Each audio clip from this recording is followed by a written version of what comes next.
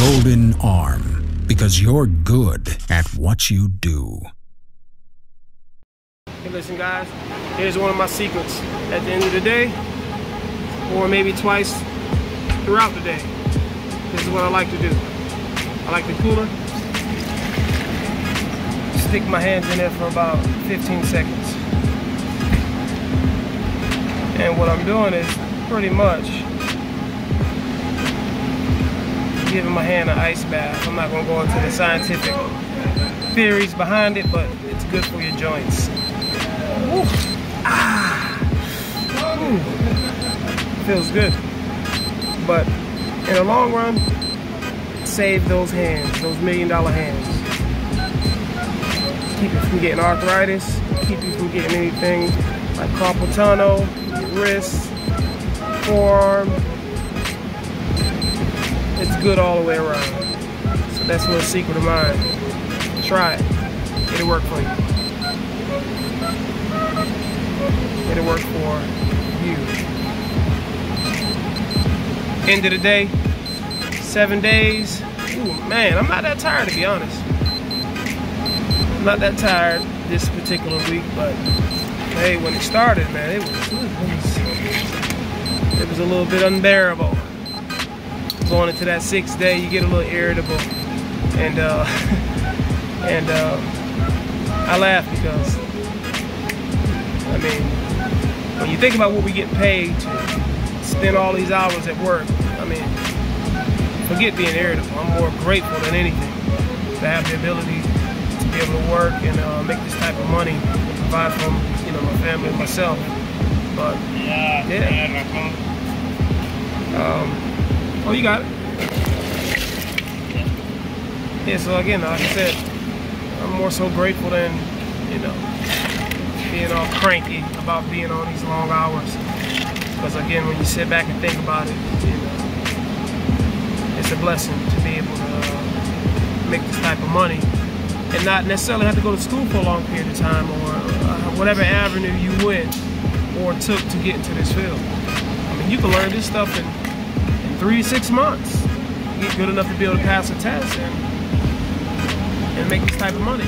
Welding next to guys that have been welding for, you know, 20, 30 years or more, or less.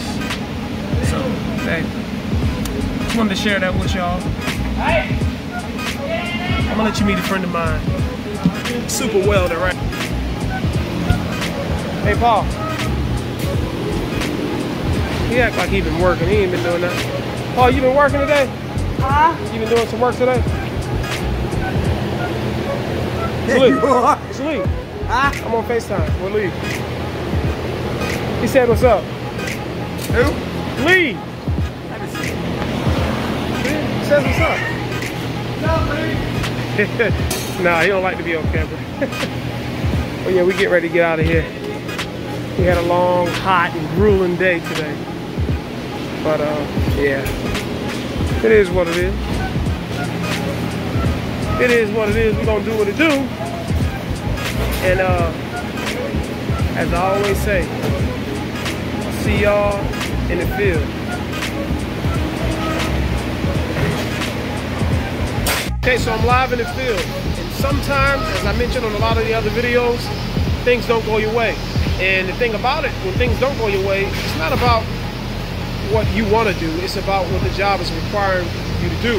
So as a professional welder, just like you guys are going to be, hey, sometimes you got to take things the way it comes. Hey, they need to pipe up. They want it done. So right now we got Schedule 10 pipe. Let's take a look at it. Schedule 10 pipe. We run the Schedule 10 pipe. And we have a quarter inch gap.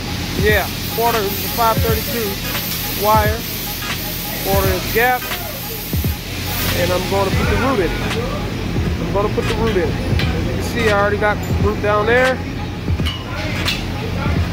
You guys want to know how to put a root in quarter inch gap on schedule 10, stainless steel? Hey, tutorial. show you three different ways you can do it. But ask this guy.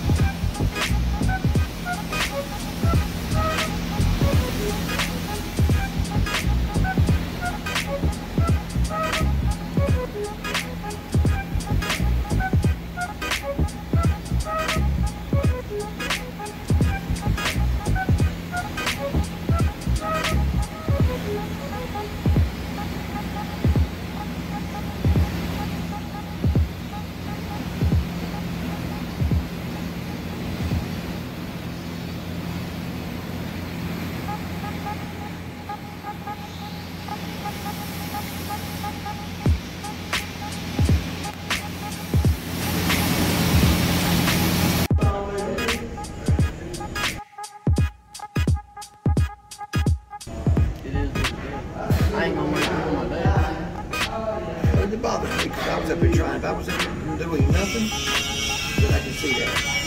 You trying to say I was up there doing nothing?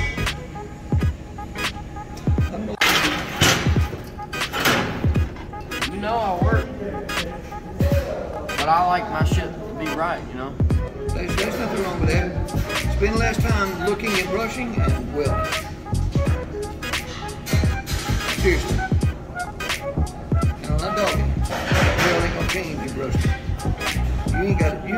You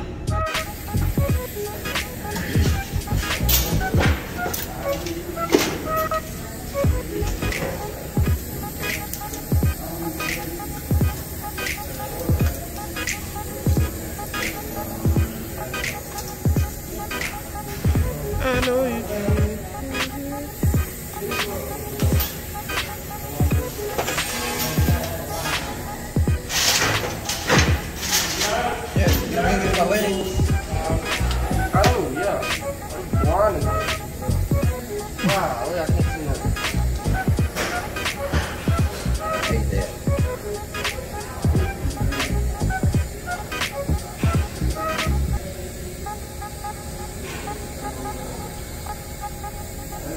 Golden Arm, because you're good at what you do.